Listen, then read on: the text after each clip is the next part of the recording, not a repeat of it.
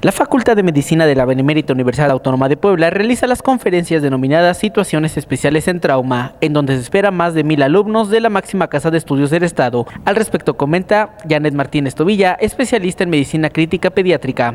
Bueno, empezamos desde el día de ayer con un evento titulado Situaciones Especiales en Trauma.